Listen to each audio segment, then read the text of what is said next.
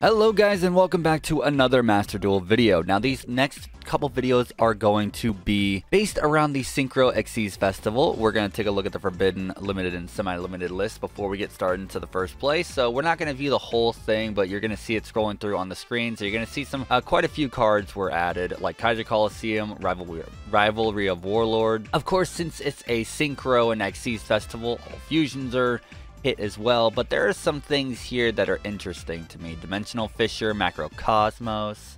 There's also, if I scroll down enough, we should be able to see Gozen matches gone as well. And I saw Barrier Statue, the wind one that Floowandereeze likes to use along with Pot of Duality. And it's just really interesting to see that they just got rid of it all outright. I'm like, thank God, no Floowandereeze. I still have to deal with Time Lords. I'm not dealing with Kaiju because Interrupted Kaiju Slumber is forbidden, which is nice. Thank you. Oh boy. Now this first opponent had Sword Souls. It was a Sword Soul based deck and uh, good lord, man.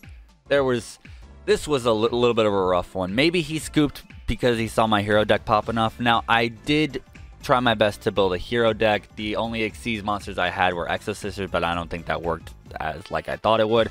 As you can see, I have been punished for that. But later on, we did switch decks, so let's go ahead and play this replay and show you exactly what happened. We'll go through the play-by-play, -play, I'll go through what's going on in my head, and this will be about maybe three, four duels long for this video. I don't know. So I'm going first. Opening hand is, of course, the classic Duelist Cup Bread and Butter, Droll Lockbird, Ash Blossom, Vyon, Raigeki, and E-Emergency Call.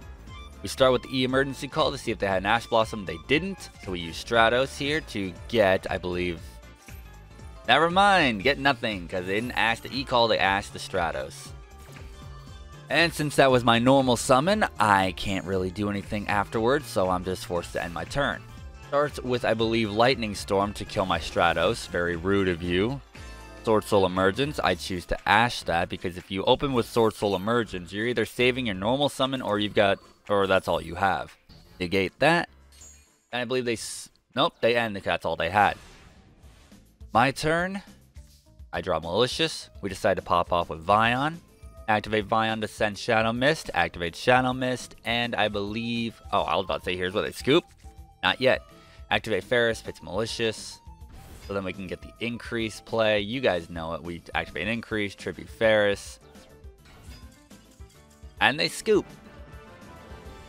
Apparently I'm not allowed to pop off, but you know what? We take those. Another Sword Soul. This one maybe sent me through it a bit more. Seems like he's got maybe a huge combo heavy deck.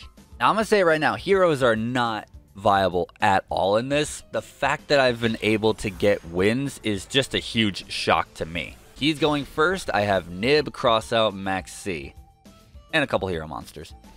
That's two and passes. Now I thought this was like Kaiju's or something. Maybe it's like, oh, okay. I guess if he, if I pop off too much, but nope. Sword Soul Strife. I just go into battle, set cross out, and my turn. He activates infinite impermanence for whatever reason. I don't think he needed to do that. Because there was nothing in my graveyard, so I can't activate it. Then he just draws and ends his turn. So then I normal summon increase, and I just pop and pop. Basically just beating them down slowly, you know. You know how it is. If you brick, you're just taking little chip damage, taking your lumps. He draws again. Ecclesia. I decide to max C because I'm like, I could use some more cards. Sure, why not?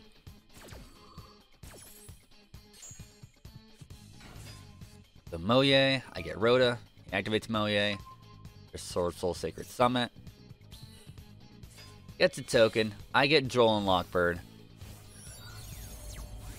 He syn he synchros into Ch Xiao or Chi Xiao. Activates Mo Ye, activates Grandmaster. If I do anything here? No, I just let it through because, you know, I activated Max C. But I know he's drawing cards. So, this is where I draw on Lockbird. Because I already have Nib. I'm like, I don't need the cards. This is just to stop him from popping off too much. I activate Nib, wipe the board, give him a nice little token. And I forgot he can still pop off. get the Iris Sword Soul on the field, and then just and ends his turn. So I got nervous when he was able to tribute the token. I'm like, oh no. But I pulled Faris. So here's Forbidden Droplet, sending the. Uh, the... All right. I don't think I had game there, but I think he was just like, all right, Chief, I'm gonna fuck with you. And he just left. Now, as you can see, I did take a few good losses, but we're actually going to be looking at this one right here versus Nowhere Man. He must live out in the middle of nowhere. Shout out to Courage Cowardly Dog, my favorite my favorite show from when I was a kid. It's a Blue Eyes deck. Who'd have thought? Honestly, Blue Eyes deck in Synchro and Xyz, it, could, it, it can work, 100%. It's actually one of the easiest ones you could probably build aside from Exo Sisters. Now, he's got the classic stuff. I don't know why you would only run one Jet Dragon. I thought he ran multiple Jet Dragons. You'll, you'll see. You'll see that. You'll see that apparent later. Let's look at the loss. I think I I think I surrendered here because there was nothing I could do. Absolutely nothing. I bricked so hard, and he was controlling my field. Lancea, Rhoda, Feather Duster, Solid Soldier, and Denier. Activate Rhoda. He ashes it. Okay. I mean, you run he runs three, so that's a good percentage to start with it. That's fine. Solid Soldier's effect to special summon Denier, and then I end. That was a big mistake, and we're going to speed this up a bit. So Alternative comes out. I use Lancea. Don't know why I wanted to do Lancea, because he wasn't going to banish anything. Then he sets that. Or sets two. So, initial thought, Harpy's Feather Duster. You would be correct. Ultimate creature of destruction, targeting the blue eye. So he gets that, or he targets alternative. So he gets that pop off immediately. Other one was True Light. So I'm glad I got rid of True Light. Got a miss to grab Honest Neos. Yeah, and now, now I know what you're thinking. Oh, you could have activated Honest Neos during the, the damage step. It wouldn't have killed it, so it would have been pointless chip damage, so I held on to Honest Neos. Then he just pops my Vyon anyway, and he shows me Nebula Dragon to get the two out, and that's why I scoot, because I know I'm going to get Numeron Dragon. But I wasn't going to lose it, it's just he would have had a Numeron Dragon out or the Hope Harbinger out there. And it just would not have been a fun time. Same deck, same, same opponent. Because the second I surrendered, I went back in, and then surprise, surprise, it's the same person. I'm just like, great. I'm going to get blue eyes again. This time it was a different outcome. We opened with ED.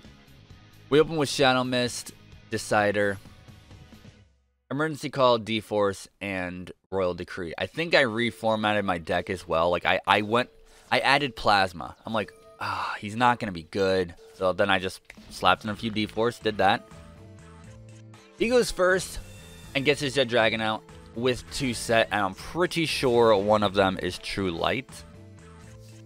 So my turn starts. I activate E-Call straight from the gate because I, I want to know if he's got Ash Blossom. He doesn't. So cool. Activate D-Force to search for my Plasma.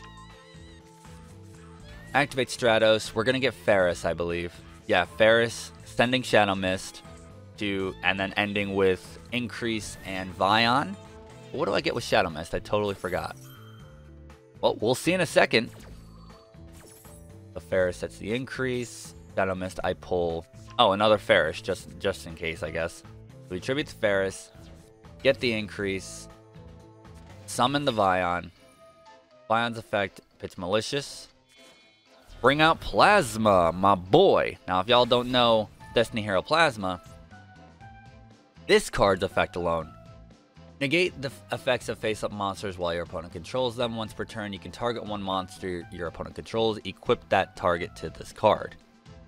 Gains attack equal to half of the original attack of the monsters equipped to it by this effect. But remember, I also have D-Force. When this card is activated, I can add Plasma, which I did, while I control Destiny Hero Plasma, I can apply the following effects. I can't draw any cards during the draw phase, so that sucks.